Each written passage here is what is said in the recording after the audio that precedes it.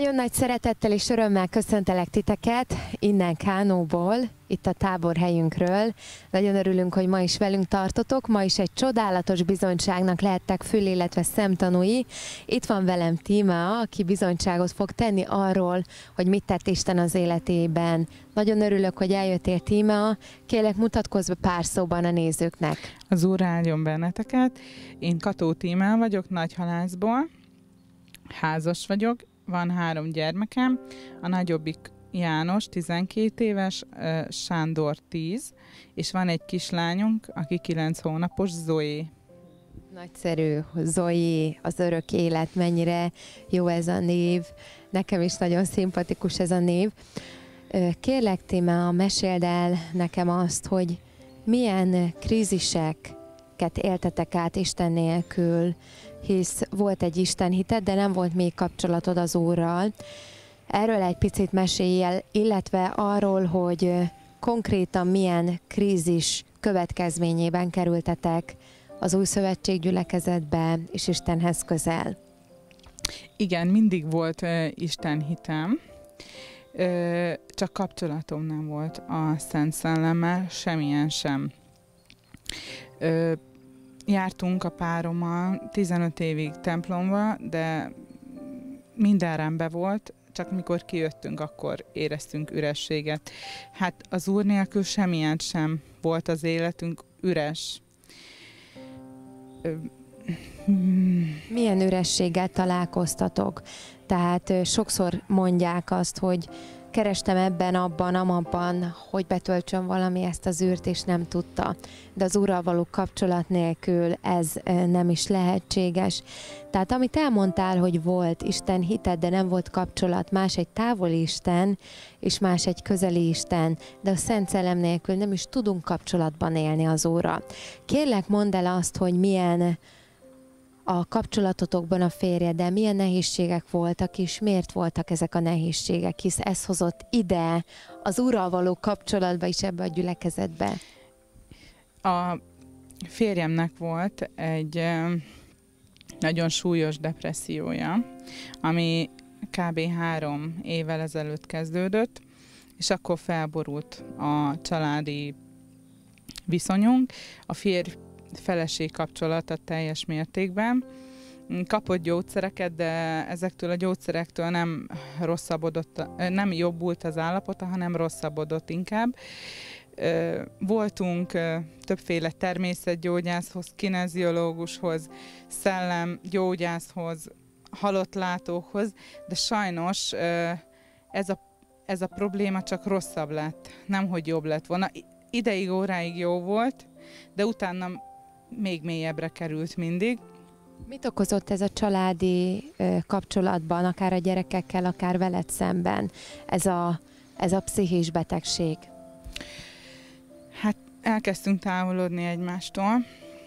A gyerekeknek is kezdett lelki problémájuk lenni. Ugye bizonytalanok lettek, mert az apukájában nem látták a biztos pontot és én sem láttam a férjemben a biztos pontot, és nem is tudtam benne megbízni.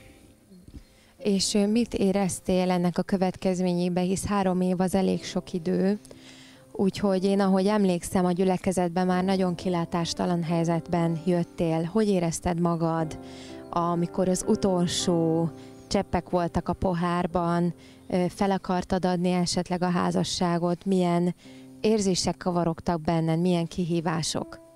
Igen, felsze- hát felszerettem volna adni igen a házasságot, de tudtam azt, hogy ez nem megoldás. Hanem amikor eldöntöttük, hogy Zoét szeretnénk az életünkbe, az első és a harmadik gyerekünket,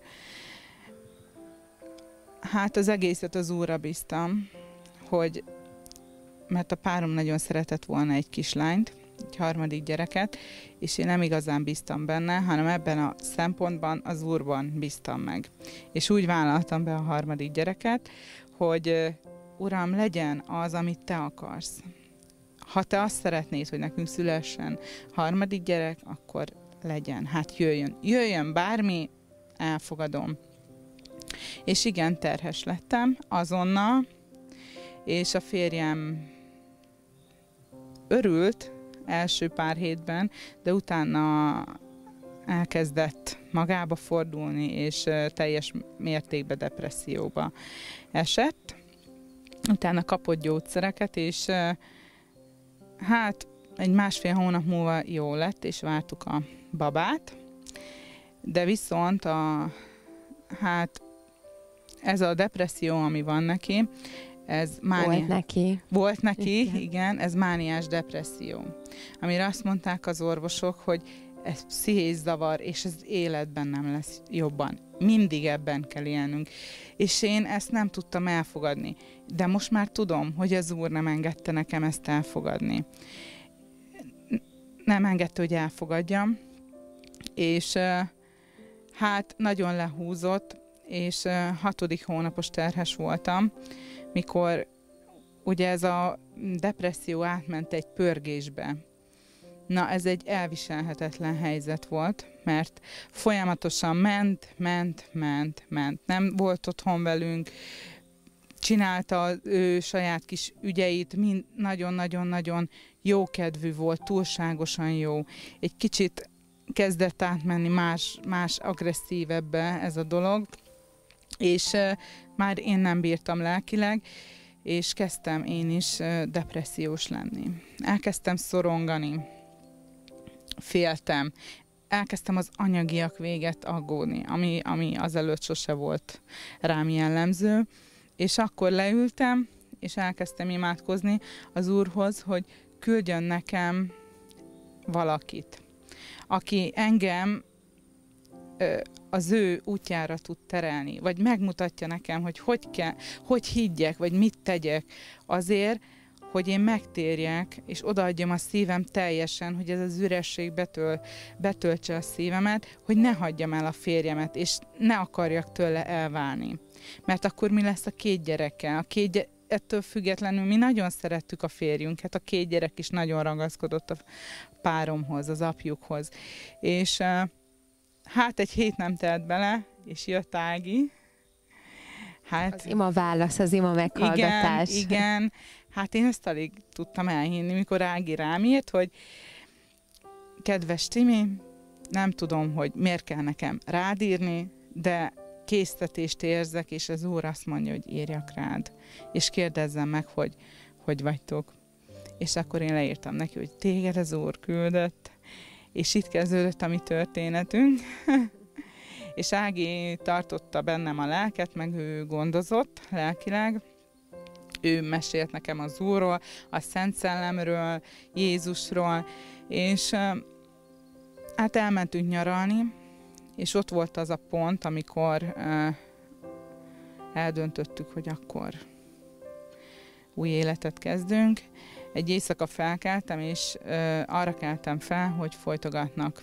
És nem kaptam levegőt, egy ilyen pánikszerűség és akkor nagyon megijedtem, és ha ennek nem húzunk határt, akkor ez elment volna másfele, rosszabb irányba, és uh, akkor Ági mondta nekem telefonon, hogy most már ideje lenne akkor eljönni gyülekezetbe. És akkor eljöttünk a gyülekezetbe. Nagyon fontos az, amit mondasz. Ö, sátán bejött a családba egy résen keresztül, és nem állt meg a férjednél, hanem téged is, a gyerekeket is tönkre akarta tenni. És ugye a pszichológusok, pszichiáterek azt mondják, hát ez mániákus depresszió, hát ez krónikus ez, krónikus az, mondanak ezt, azt bizonyos dolgokra, de az igazi probléma az szellemi, nem pedig lelki eredetű. És démonok okozzák ezt emberekbe, Bejöhet ez egy lelki traumán keresztül, de mindenképpen szellemek gyötrik az embereket. És elkezdte a férjed de gyötörni ez a szellem, és végig akar menni a családon, hisz azért jött sátán, hogy jöjjön, lopjon, pusztítson. És mennyire hasznos az igaznak buzgóságos könyörgése, hogy még nem is ismerted Istent, de könyörögtél, de felsóhajtottál, és Isten pedig reagált, rögtön egy héten belül mennyire csodálatos az Úr. Én azt gondolom, hogy már az utolsó feladásaidba voltál benne, hogy tartsd magadat életben a gyermekeid előtt tarts magadat, és emlékszem, mennyire kétségbeesett állapotban jöttél. Kérlek, mesélj arról, hogy hogy történt a megtérésed, és mi történt utána. Mit éltél át a megtérésed pillanatában? Mi, mi lett más azután benned? Hála az Úrnak, ö, minden megváltozott. Hát elmentünk a gyülekezetbe, és elmondtuk a megtérő imát én is, és a párom is. Azelőtt mi voltunk már más típusú gyülekezetben, de egy kb. 10-15 perc múlva felálltunk és eljöttünk. És nagyon féltem attól, hogy mit fog mondani a párom. Mert ugye ez nagyon meghatározó volt, hogy ő neki tetszik-e a gyülekezet, vagy nem. És hála az úrnak, mikor vége lett a gyülekezetnek, azt mondta, végre elhoztál egy normális helyre. és igen, ott a, hát egy kicsit ott a pásztor előtt is megvolt a vita köztünk, és akkor még nem értettem, de most már értem. A pásztor azt mondta, hogy engedelmeskedj a férjednek. De ezt minden alkalommal elmondta. Hát mondom, ez a pásztor miért mond nekem ilyeneket? Hát én engedelmeskedek, de már most értem, hogy mire mondta az Úr.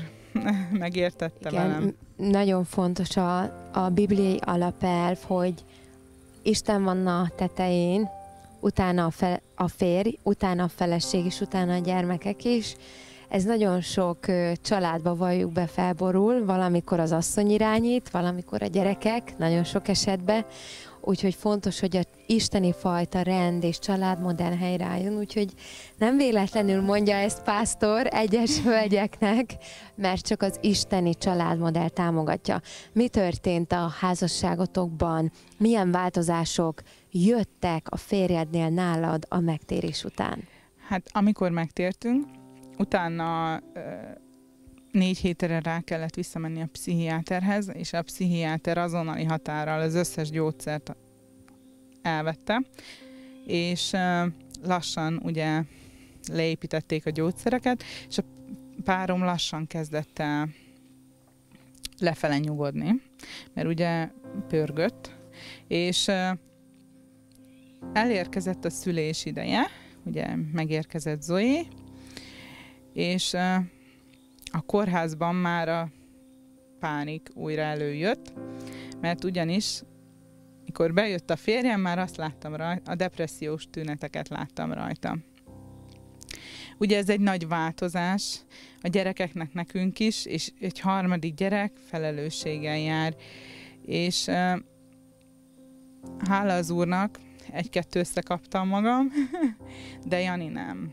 Janinál uh, jött a, a mély állapot, de nem volt olyan mély, mint azelőtt.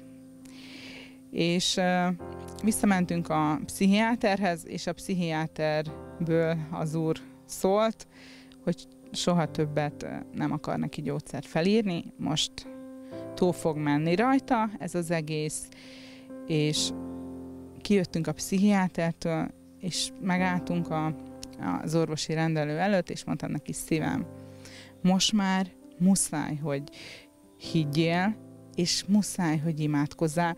Ez az utolsó választásod, nincs más választásod. És akkor jött az ige a fülemben, hogy amikor már mindent kipróbáltál, akkor jövök én. Azt mondja az Úr.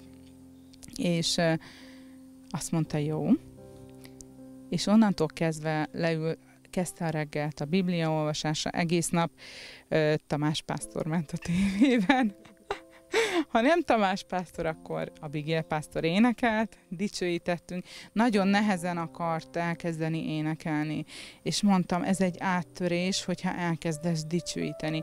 És el, még szorította a fogát, de elkezdett dicsőíteni, és onnantól kezdve napról napra négy hét alatt felállt mennyire fontos szerepe van Isten igének és a dicsőítésnek, mert sátán gyűlöli, ha Isten dicsérik. Azt mondja az ige, hogy az Úr az ő dicséretei között lakozik. Tehát amikor egy ember elkezdi dicsérni az Urat, akkor ő ott megjelenik. És ahol az Úrnak a szellem, ott a szabadság. Tehát automatikusan a dicséret és imádat hatására az emberekről békiók, láncok, démoni kötelékek tudnak eloldódni. Ezért van nagyon sátán a dicséret ellen. És a férjed ö, megvallásokat is tett, ugye?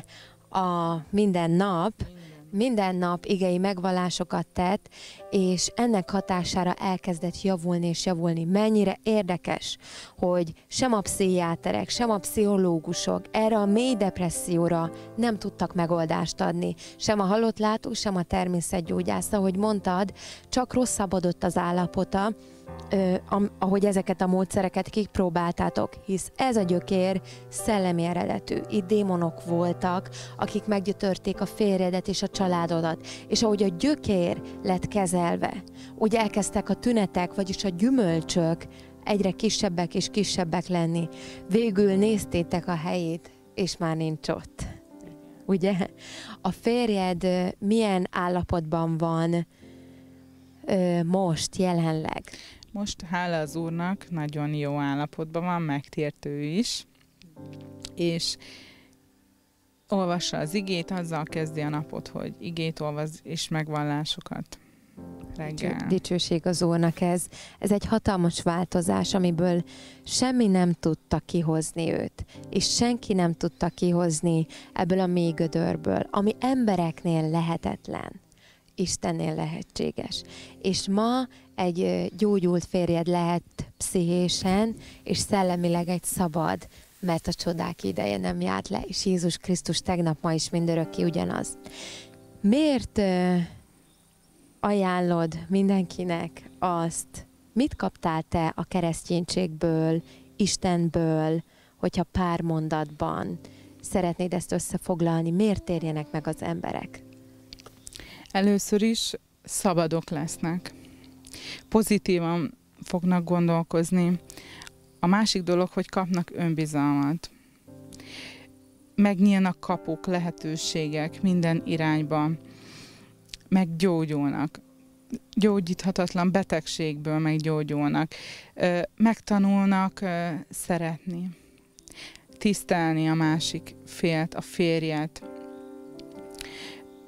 kedvesebb, alázatosabbak lesznek, és az Úrral együtt élni az egy hatalmas folyó, egy, egy szökő ár az, úr, az Úrral együtt élni.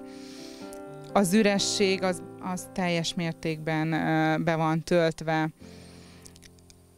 Van kapcsolatom az Úrral, nem vagyok egyedül, soha nem leszek már egyedül, mindig vele leszek, vele, velem van az Úr, és ezt nem győzöm mondani mindenkinek, hogy, hogy térjenek meg, mert jobb az Úrra eltölteni egy napot, vagy egy éjszakát, vagy egy hetet, mint az Úr nélkül. Mert nem tudják még az emberek, hogy mit jelent az, meg tudatlanok az emberek. Egyébként ebből a szempontból nem ismerik az Úr Jézust, nem tudják, hogy miért halt meg az Úr Jézus.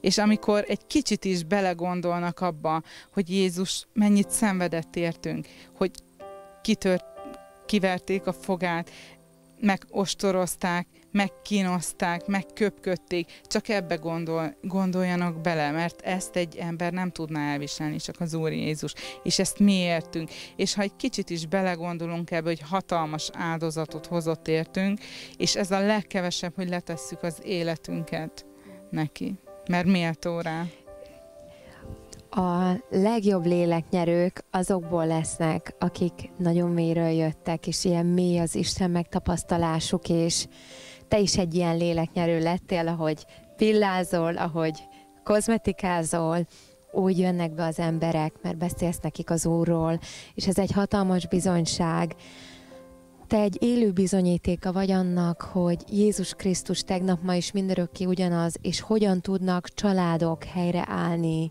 és a fogságból megszabadítani.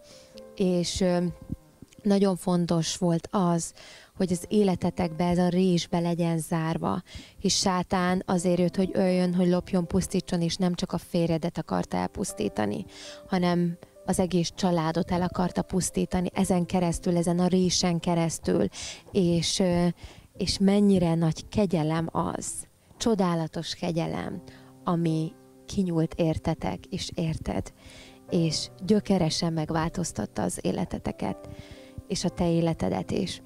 És hiszem, hogy a nézőknek is ez egy nagyon nagy reménységet adott.